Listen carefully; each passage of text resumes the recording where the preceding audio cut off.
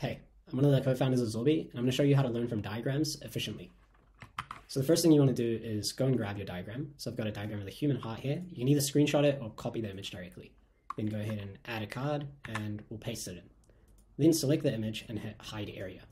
So now each of these colors up here represent groups of labels that you want to hide. So I'll hide all the ones over here. Um, oh, move that up. There we go. Hide the ones in the center, the left ventricle, left atrium, aorta, and hide the ones on the side as well. Cool. And we'll move this down a little bit. Cool, and we'll go ahead and save that. Now this is going to generate three different flashcards, one for each group of labels. You can use this section to add some extra info, like a screenshot of your slide. Once you're ready, you can add the card by hitting Command Enter or Control Enter. Once your card's saved, you can go back to your deck, and you can see we've got three cards to study today. So go ahead and hit Start Studying. Start a five minute session, and there's our diagram. So that's the right side hidden. Hit Show Answer. There we go. Uh, it was okay. It was okay. I couldn't. Right, we'll say that was easy.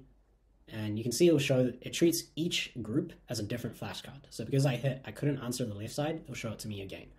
Um, and then I'll say it was okay. Cool. And we're all done. That's and that's how you learn from diagrams efficiently. Thanks for watching.